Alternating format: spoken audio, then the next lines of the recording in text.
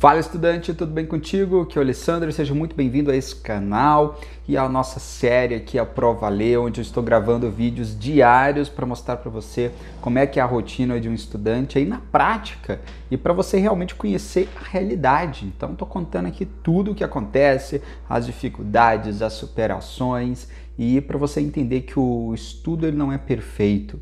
Né? Então, todo mundo vai ter dificuldades, todo mundo vai ter os seus próprios obstáculos. Né? Ah, tem pessoas que podem ter uma quantidade de horas excelente para estudar na semana, mas a pessoa não tem habilidade de estudar, e aí vai ter que começar né, a aprender tudo do zero ali, não só matéria, mas aprender a estudar mesmo, desenvolver concentração, desenvolver a memória. Tem pessoas, meu caso, que já tem habilidade de estudar, mas o tempo é uma das questões, é um dos meus desafios nessa jornada. Tá? Então, a gente tem uma rotina aqui, meu trabalho tem uma rotina, né, muito grande de atividades. A gente sempre está preparando aí novos eventos para você, novos conteúdos para você. Isso toma muito tempo. Então, não é fácil, não é fácil para ninguém. Então, esse é o meu desafio pessoal, mas por isso que eu realmente decidi entrar nessa jornada aí, minha meta de cinco aprovações e criando essa série aqui para você acompanhar na prática, beleza? Então, como é que foi o dia hoje? Ah, lembre-se de se inscrever nesse canal que é muito importante. Hoje chegamos a 173 mil inscritos e, na verdade, foi ontem, ontem que nós chegamos e agora rumo aos 200 e rumo a 500, um milhão, conto contigo, beleza? Vamos lá. Bom, domingo, hoje, né? Uh, hoje eu estudei, acordei cedinho, não consegui acordar às 5 horas, porque eu dormi tarde, né? Terminei de fazer as atividades aqui, uh, já era 11h30, que na verdade, sempre assim, o dia de hoje, ele é o reflexo do dia de ontem, né? Então, ele é a consequência, na verdade, do dia de ontem. Então, o dia de ontem, eu parei de trabalhar, era 9 horas da noite. Então, 9 horas da noite que eu fui comer alguma coisa, fui malhar. Fui malhar 10 da noite. E aí, pô, não dá para malhar e chegar e dormir. Quer dizer, malhei, cheguei é, em casa, e aí o que, que eu fiz? Até tomar banho, comer alguma coisa. Cara, fui dormir meia-noite, meia-noite e meia, por aí. Até porque tava sem sono, né? O fato de você fazer atividade física muito tarde, inclusive, tira um pouco do seu sono, fica, você ainda fica um pouco agitado. Então, fui realmente pegar no sono, deitei uma meia-noite fui ler, aí até pegar no sono, uh, acho que deu meia-noite e meia, tranquilo. E aí eu acordei às seis, né? Acordar às cinco ia ser muito ruim. Então hoje é um dia que, ontem e hoje, são dias que eu estou gravando aqui uma série de vídeos e me exigem muito tempo. Você vê, agora, parei agora de fazer uma gravação. Então hoje o que, que eu fiz? Eu estudei de acordei 6 horas, comecei a estudar 6 e meia, 6 e meia até 8 e meia, 8 e meia, 9 horas, fui até 9 horas. E aí eu fiz um estudo de regimento comum, né? Fiquei ali estudando o regimento comum direto, regimento comum não, perdão, regimento interno do Senado, muito legal. E tô fazendo, criando uns esqueminhas, né? Esquematizando ele para ficar muito mais fácil de memorizar. Até fiz um, um story que tem no YouTube, no Instagram, mostrando para você. E aí depois comecei as gravações do dia de hoje. E aí parei há pouco tempo, parei, terminei umas duas da tarde. E aí, como a semana inteira foi tumultuada, muita coisa para fazer, hoje era o dia que eu tive para arrumar a casa. então tem as atividades de casa também. Então você, me conta aí, você. Você também tem que separar sempre um dia na tua semana para poder arrumar a casa, né?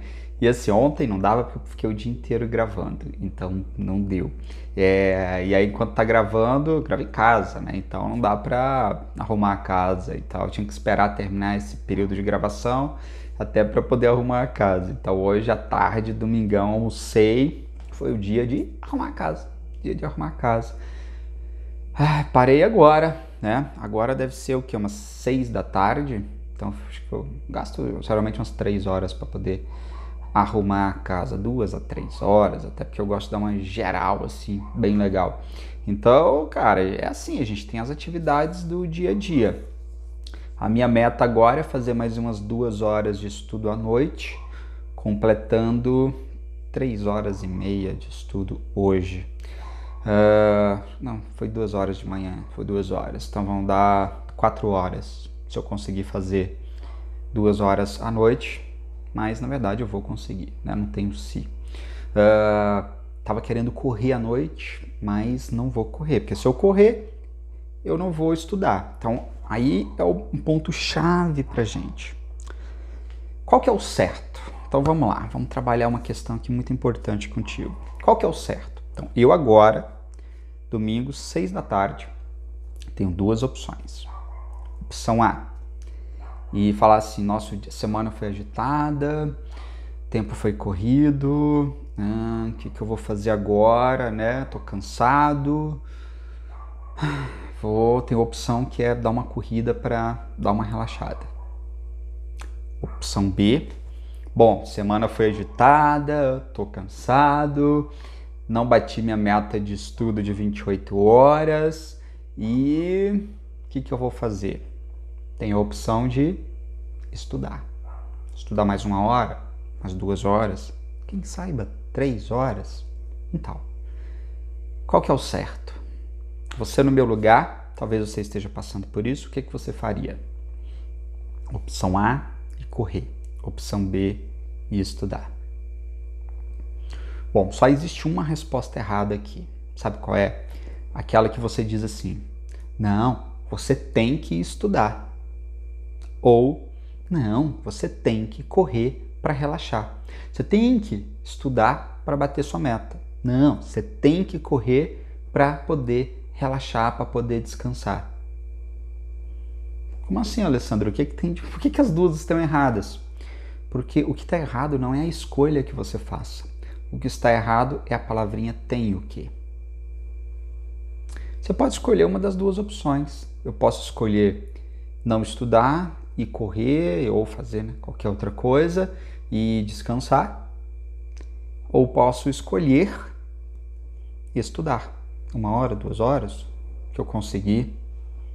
Então a questão é que a resposta certa, né, ou seja, a melhor resposta, é o que? É você fazer a escolha. Porque quando você diz que eu tenho que, você está dizendo que eu tenho que descansar por obrigação. Se você faz isso, você não descansa. Por quê? Porque você vai estar tá correndo e estar tá pensando. Você vai estar tá descansando, vamos trocar pelo descansar. Você vai estar tá descansando e vai estar tá pensando: nossa, eu deveria estar estudando.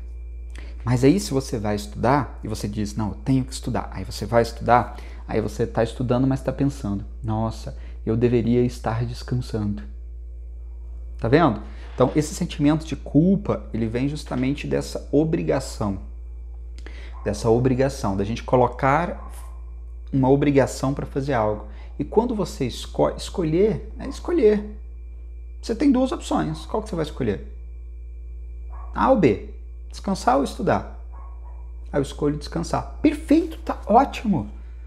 Dá o seu melhor amanhã, ótimo. Tem consequência disso? Claro.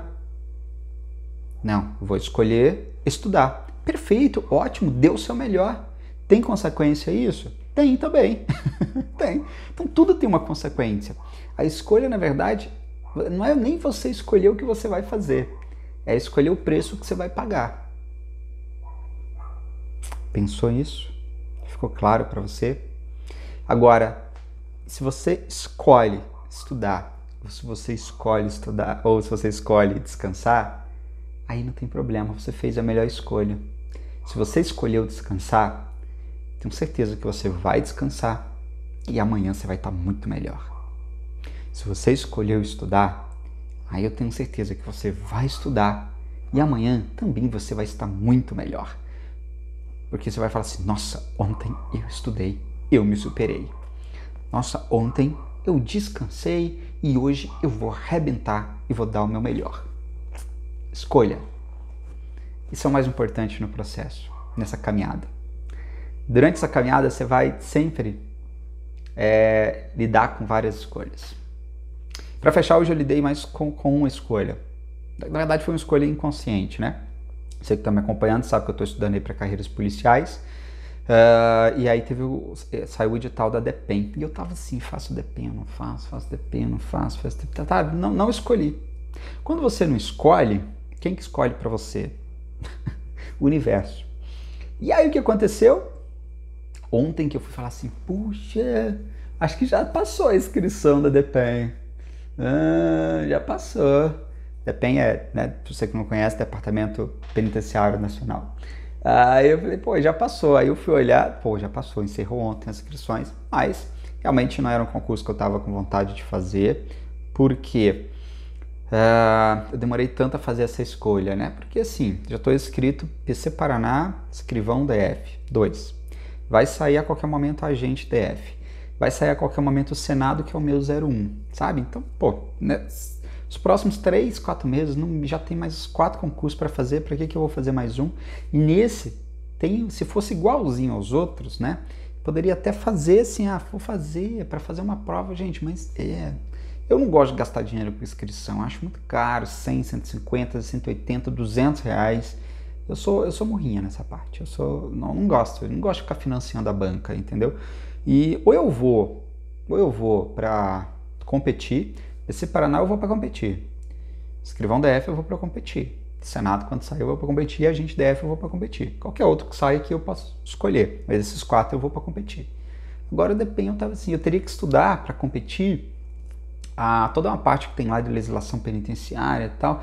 Cara, e eu não estou no nível 3 em todas as matérias que eu quero principalmente nas mais importantes. Penal eu estou com 77% de desempenho, processo penal estou com 79% de desempenho. Só vou ficar feliz, na verdade estou feliz com o desempenho que eu tenho, Sim, mas só vou chegar no nível que eu falo assim, pronto, agora eu estou no nível de competição quando eu estiver pontuando no mínimo 80%. Nível 3, de 80 a 100. Nível 2, de 50 a 80. Então eu ainda estou nesse desafio de próximo ciclo, melhorar, sabe, corrigir falhas, conceitos ali que eu ainda não estou lembrando, que eu estou confundindo. Então, para que não ia gastar tempo, sabe? Então, eu, foi aquele concurso que eu até pensei em fazer, mas não, não falei, não vou. E ainda bem que passou a inscrição. Beleza, não vou fazer esse, menos um, menos não vou dar dinheiro para banca à toa. Beleza? Então é isso. E a pergunta que eu tenho para fazer agora é: qual a escolha que você vai fazer hoje? Final de domingo, qual a escolha que você vai fazer hoje. Escolha. Esteja em paz com a sua escolha, assuma a responsabilidade pela sua escolha. E escolha agora também, a pedido do Alê, se inscrever nesse canal, curtir esse vídeo se você gostou, se ele contribuiu alguma coisa contigo e compartilhar com a galera que você conhece. Beleza? Vamos juntos? Ótimo domingo e escolha.